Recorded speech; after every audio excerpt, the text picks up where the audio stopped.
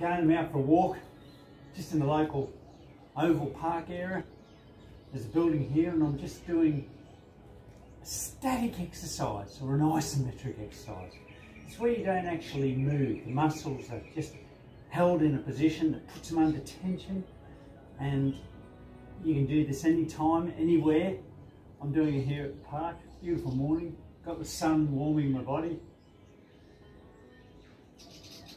Just activities, simple exercise to do.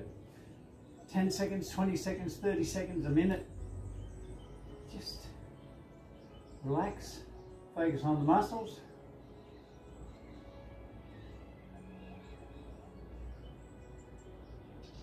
Oh, so good, so good.